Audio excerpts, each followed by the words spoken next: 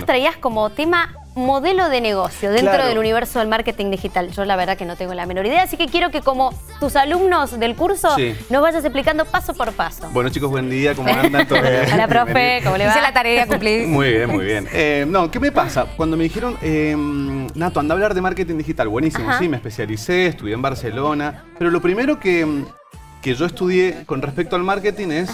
En realidad no hay que ir directamente a las herramientas. Lo que nos pasó ahora con la tecnología es que eh, Instagram es fácil de usar, eh, podemos montar un e-commerce rápido, una tienda. Eh, la tecnología evoluciona rápido, entonces lo podemos utilizar rápidamente para nuestro negocio. Ahora, nos ponemos a pensar en la herramienta inmediatamente antes de seguir... El producto. Claro, antes de seguir trabajando nuestro producto, nuestro servicio.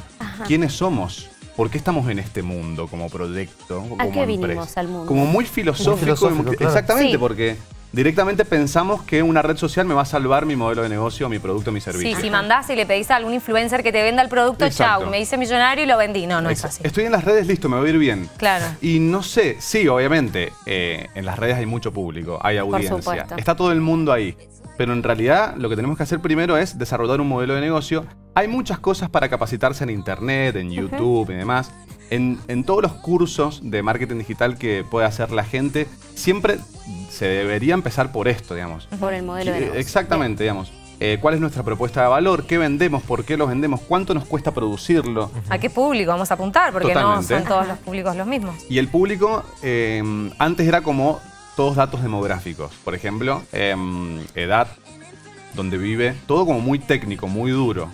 Eh, y ahora hay que ablandarlo un poco más. Se habla de buyer persona o de mi audiencia, qué características ¿Qué tiene. es buyer persona? El buyer persona es un cliente ideal, el modelo de tu cliente ideal. Vos tenés que eh, graficar, escribir cómo pensás que es tu cliente ideal. ¿Quién es el que está viendo este programa? ¿Quién es eh, la persona, el ideal que representa a muchos? pero pensando también... Eh, ¿A quién apuntás exactamente? No, solo decías vos pensando en, lo demográfico, en dónde vive, cuántos años tiene, sino en sus intereses, un poquito más abarcativo, ¿no? ¿Qué le gusta? Fíjate que, bueno lo que decís, Clary, porque no es lo mismo que te gusta a cómo te comportás, por ejemplo.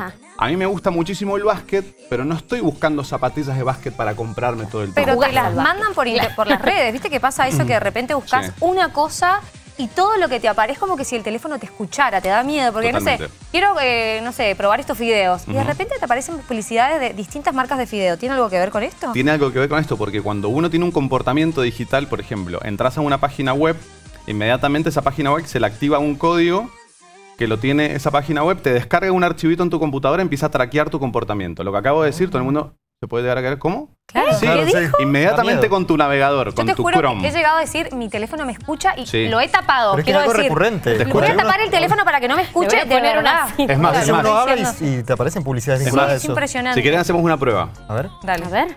Mark Zuckerberg Dame la ñ para el arroba de los chicos, por favor. Falta la ñ. Ahí está, en un ratito. La manda. Aparece. después del corte, seguramente su arroba va a tener la ñ. Vamos. Quédense tranquilos. Y si no, eh, internet del canal no estaba funcionando, decilo. también, también. También. A ver un poquito más de megas.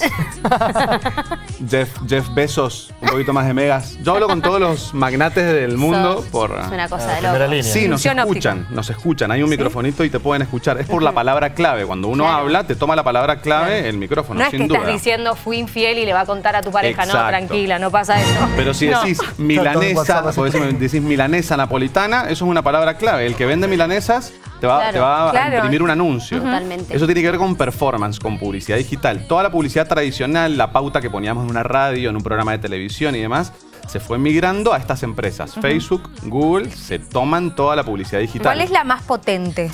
Hoy la, en más día? la más potente a nivel de, mm, lo que estábamos hablando, de intereses y comportamiento, es Facebook Ads. Que en realidad Facebook compró Instagram y compró WhatsApp.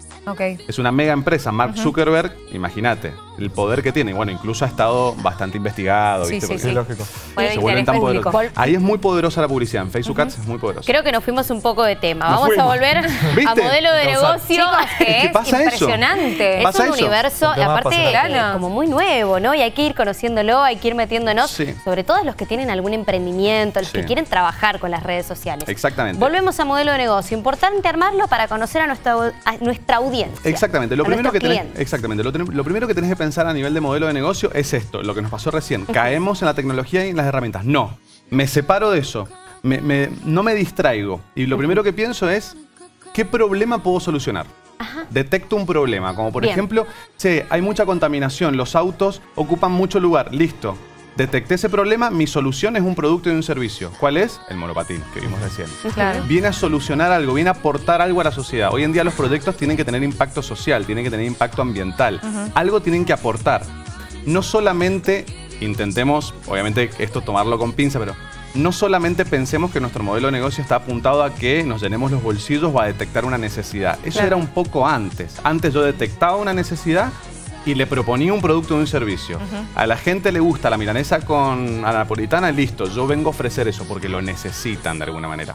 Eso sigue existiendo, el modelo de negocio tradicional está. Una zapatería en el centro, la gastronomía, eso existe porque hay necesidades que tenemos. Ahora, si queremos ser modernos, marca moderna, detectemos problemas. ¿Y cómo haces?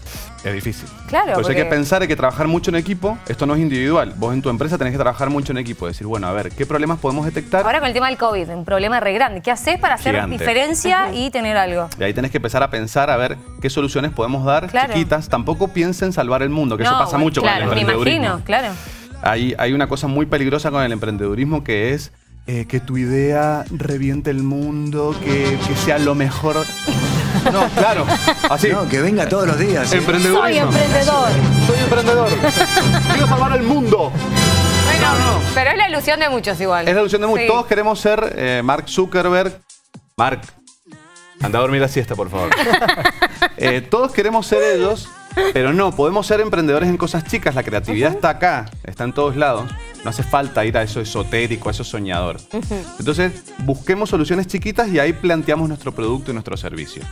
Si es tradicional, si yo realmente quiero hacer comida, quiero vender zapatos que ya existe, bueno, metámosle recursos como el storytelling, como... Mm, Para los que no saben qué es el storytelling. El storytelling es contar historias. Es darle un concepto. Por ejemplo, hoy en día en Mendoza hay muchos cafés. ¿Y cómo se venden los cafés? Con estética, con concepto. Claro. No voy a nombrar porque todavía no auspician mi espacio. No, Algunos con café ricos, otros no. Em, pero viste que se venden de una manera... Claro. Eh, no te dicen, soy un café, te dicen, bueno, soy, y te dan como una estética de marca. hoy en día está muy en moda la experiencia. Uno va a un lugar y no se toma un café nada más. No, ahora es brunch, ahora te atienden de tal manera, ahora puede haber teatro en un lugar. Entonces, si sos tradicional, metele storytelling y metele experiencia a tu modelo de negocio. Si no, eh, busca solucionar problemas y sí o sí ahí vas a tener que recaer en la tecnología. Pero, por ejemplo, no sabes qué crear o crees el emprendedor. ¿Qué conviene buscar primero? ¿La necesidad o buscar qué te gustaría que proyectarte? Bueno, eh, son los dos caminos. Yo le digo a mis estudiantes lo mismo. Eh, Nato, no sé, no, encuentro problemas. Bueno, detectar necesidades, porque siguen existiendo necesidades. Eh, entonces, anda por los dos caminos. Cuando detectes una necesidad, fíjate cómo aportar valor, porque si estamos vendiendo todo el tiempo, cansamos. Vendo zapatillas, vendo zapatillas, vendo zapatillas. Bueno, basta. ¿Y hoy qué, tenemos que aprender? Que tenemos que charlar con nuestra audiencia, no tenemos que venderle. Y quizás vendiendo la zapatilla nomás, es difícil diferenciarte, ¿no? Y que, y que tu marca sea única, que tenga eso, ese sello. Exacto, y eso está en el modelo de negocio. Entonces, primero, detecto un problema, una necesidad, planteo mi producto y mi servicio. Después le aportás valor. Ese es el siguiente paso del modelo de negocio. Perfecto. Le das valor a todo lo que estás construyendo. Y algo que está muy bueno es las alianzas. ¿Quiénes son mis amigos? Hoy en día los proyectos no se tienen que pensar de manera individual. Tengo que pensar quién me puede ayudar, con quién me puedo aliar. Si vendo zapatillas, ¿quién me hace unos cordones copados con artística para sumárselo? Claro. Ya no, tenemos que estar así. Es buscar la diferencia con tu producto. Exacto, pero sí juntarte con gente, eh, colaborativo. El mundo tiende a ser colaborativo. Ya los modelos de negocio que están cerraditos, no, yo no te cuento mi idea. No, sí, contala. Contala que la vas a reforzar, contala porque el otro te puede aportar a tu negocio. Eso es fundamental.